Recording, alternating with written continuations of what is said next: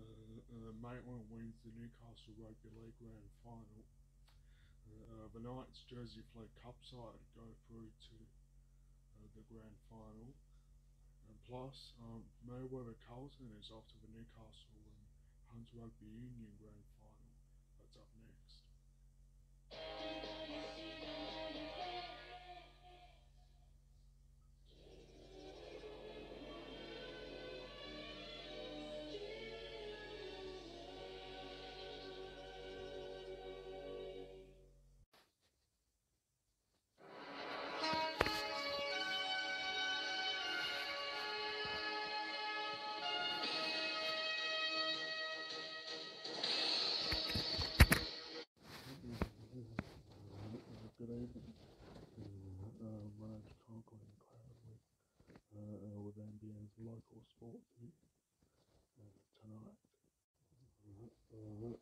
Mayland wins the Newcastle Rugby League Grand Final. The Knights Jersey Flegg Cup side off to the Grand Final after after beating the Sydney Roosters in a huge victory. And Merewether Carlton through to the Hunter Rugby Union Grand Final.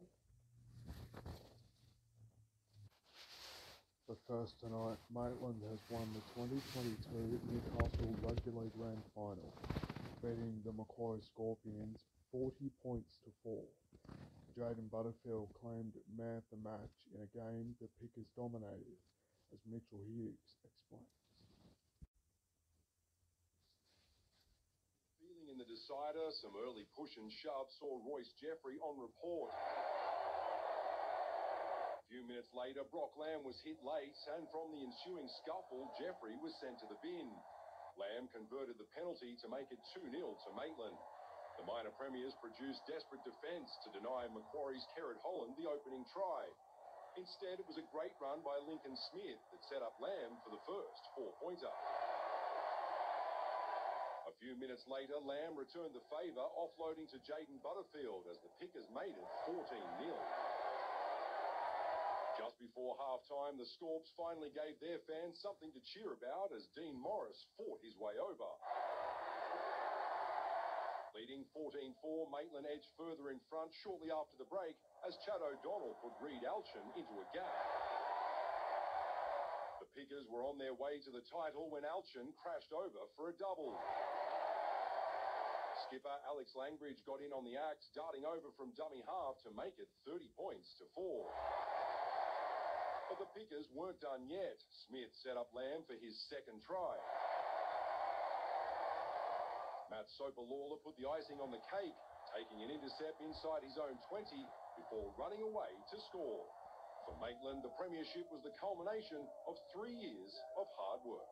Such a good feeling now. It's a relief. It's been three years in the making for us. Um, you know, to finally get the opportunity today and perform the way we did, um, you know, we're, we're super proud. To the NSWRL and the Newcastle Knights have sealed their spot in the 2022 Jersey Flegg Cup Grand Final, just holding on after facing a second half onslaught to defeat the Sydney Roosters 24 to 22 yesterday afternoon. a spot in the grand final up for grabs, and it is one versus two in Jersey Flegg. The Roosters. It was a red, white, and game blue, The Knights certainly had to win, it for Henderson. The grubbers on here. and certainly to go through. for the Roosters. And what about his pace? Look at him go. This is a shootout between him and Fletcher First, the Roosters started off But Sharp is coming. with a try of their own. Sharp comes second. It's Luke Knight's try for the Roosters, and it is magnificent. Oh, outstanding. Nothing better than a 100 metre sprint. It's Donahue who gets it. Goes to the line, it gives to Sharp, and there's a gap before the for Knights fought back after that.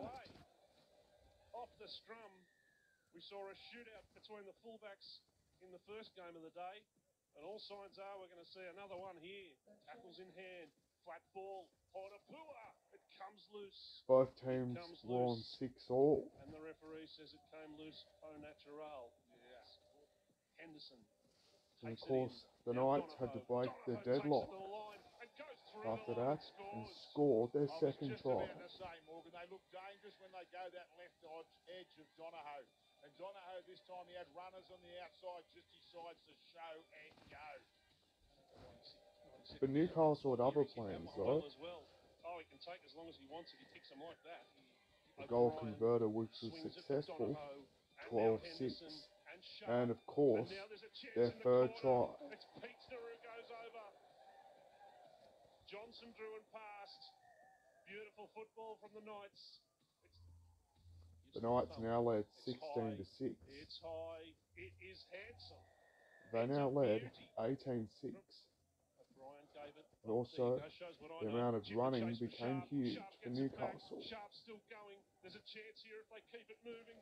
Henderson, Henderson Also, because of it, alive, gives it to Sharp. Second quickest man on the field. Those tries became enough.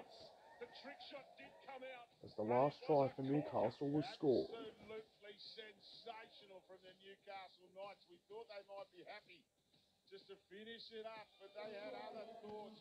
And it was a wonderful little chip and change by O'Brien.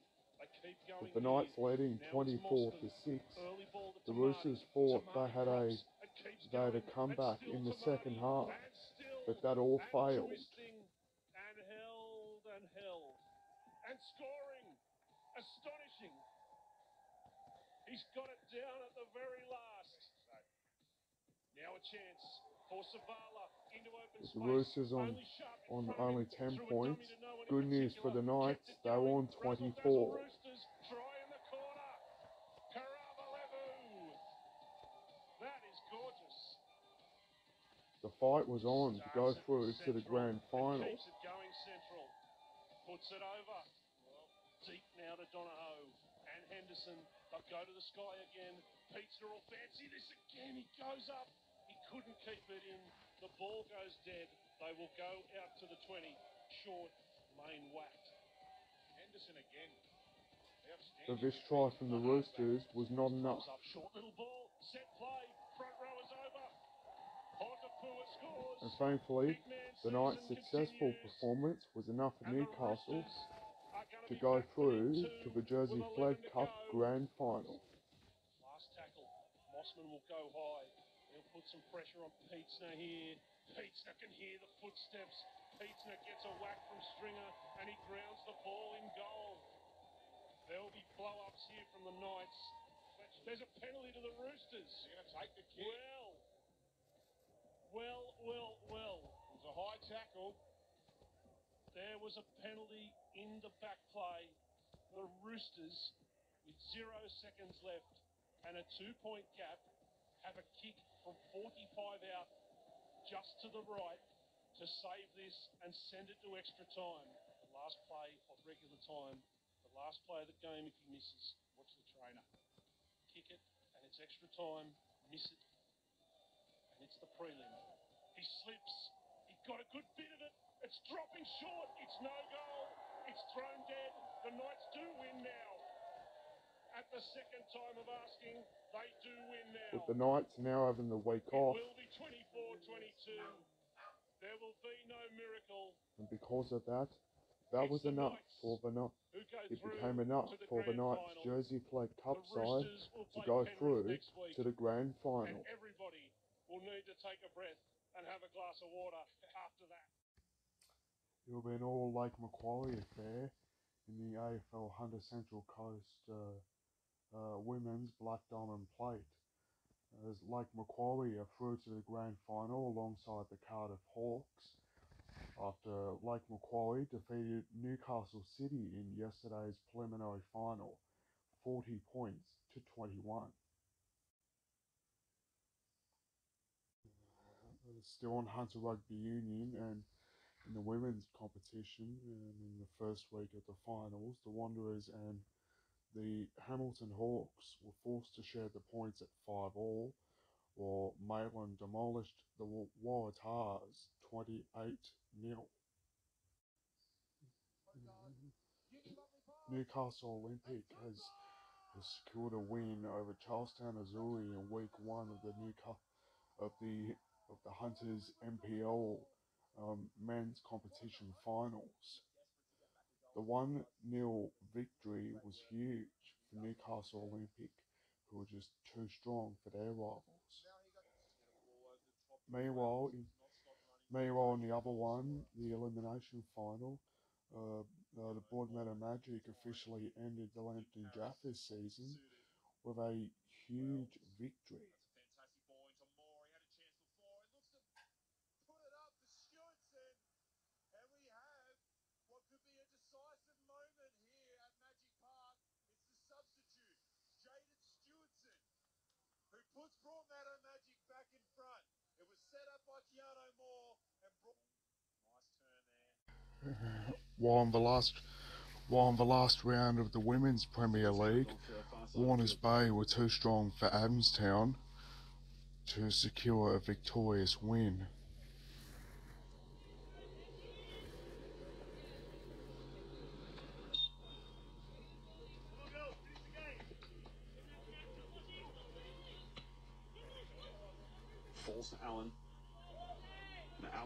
Andrews. Andrews looking for Konjaski. Konjaski!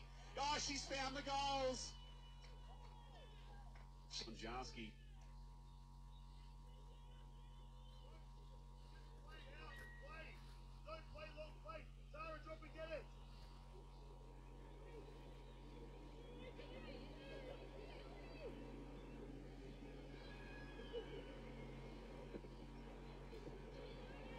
Comes forward and cuts that off. Rosebud's really struggling to get out here. Hughes. Oh no! Well, that's Clemedy and uh, Tara Andrews has scored a hat trick. Of course, Warners Bay led 6 0.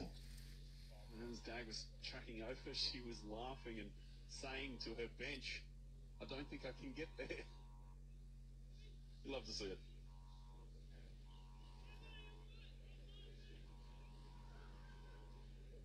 Uh, definitely not long to play now.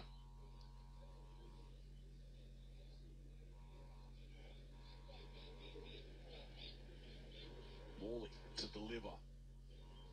Can they snatch one at the death? While Adamstown That's pretty good. It's, oh, only had their only goal. They pitch one right at the kick that uh, required a save from Borcher and Borcher Meanwhile, in the other games, um, uh, Broadmeadow secured a 3 1 win over Newcastle Olympic, while Charlestown outclassed the Mid Coast. And also, um, Maitland secured a win over New Lambton.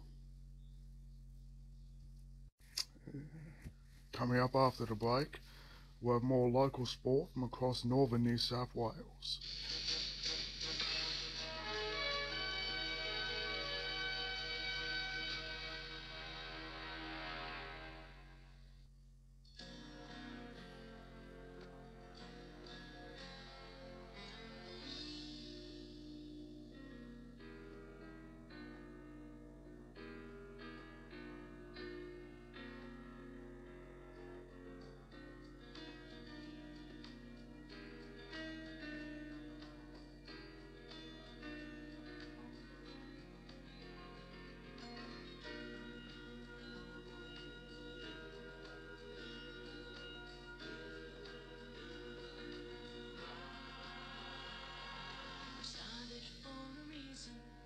To see our dreams come true. And the reason that we're here today is just because of you. This is our town. It's here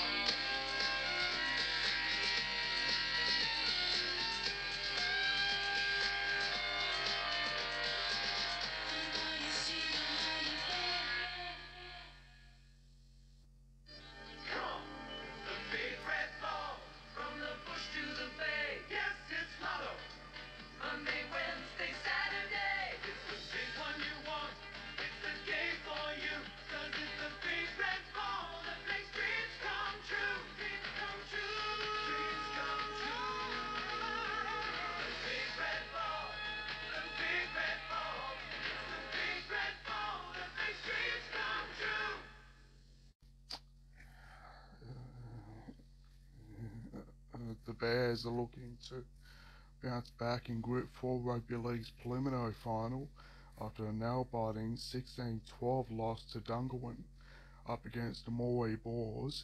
North Tamworth expects is in for another tough match. With three tries apiece, last week's major semi was decided purely on conversions. We scored a couple in the corner and made it a bit harder on ourselves. The clash, one of only three losses the Bear faced all season. I think we just got to be better uh, with our discipline. I think we've got to earn the right to play a bit of footy rather than just expecting calls to go our way. Looking forward to tomorrow's game against Moree Boars. In previous matchups, the sides have taken a victory each, both on their respective home grounds. They've had wins against uh, all, all, top four teams uh, in the last last month. Um, you know, they're, they're hard, they're, they're quick, uh, very skillful. The focus of training this week has been on taking the Bears back to their strengths. High completion, uh, and then uh, you know deep kick and and, and focus on uh, you know on good defensive sets. So um, we've fallen away from that in the last last month, but uh, we'll, we'll, certainly be looking to get back to that. Staying focused, a consistent and committed 80 minutes will be key to staying in the running for the premiership. If we can do the little things well and, and do it for you know for 80 minutes, we'll, we'll certainly uh, be in the hunt for the for that win. The Boars will make the trip down to face the Bears at Jack Wollaston Oval at 2.45 tomorrow. Grace Nicholson, NBN News. Uh, St Albert's College has, has had a clean sweep, claiming four New England Rugby Union premierships across four grades. The first grade wrapped up grand final day with a 27 to 5 win over the Barbarians. After failed penalty goals from both sides, William Gordon finally put points on the board for St Albert's. They kept the pressure on, scoring out of a ruck to also claim the first try. The Barbars' defence was strong, but Ben Grant managed to make light work of it, extending the Albies' lead to 15 0 at half tries just kept coming for the Albies, with Hamish Brown crossing for five. And kicking into play, it was a one-man job, again from Brown, well and truly securing the win for Albies. The Barbarians took possession and a try by Edward Pitt. But it was St Albert's day, the club taking victory after victory.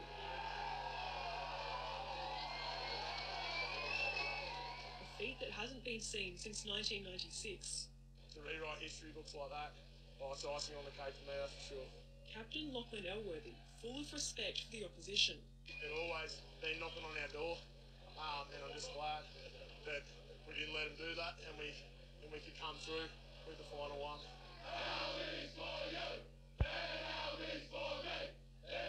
Grace Nicholson, NBN News Group 3 Rugby League. And the Wingham Tigers have defeated the Forster Tuncurry Hawks in the minor semi-final, 14 points to 12. While in the major semi-final, the Old Bar Pirates have defeated the Port City Breakers 28 to 24.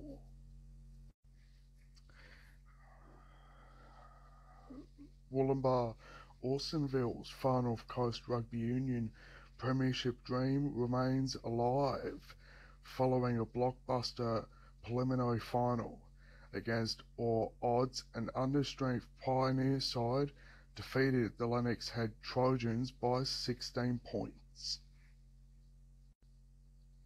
After a slow start, Wollongbar suffered an early blow. Lloyd Morgan sent off with a red card in the 15th minute forcing the team to play out the remainder of the game with 14 players, the Trojans eventually capitalising thanks to Jared Lofts.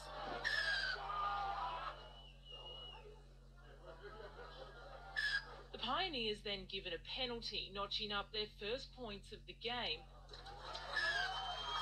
Just before half time, James Vidler jumped over the line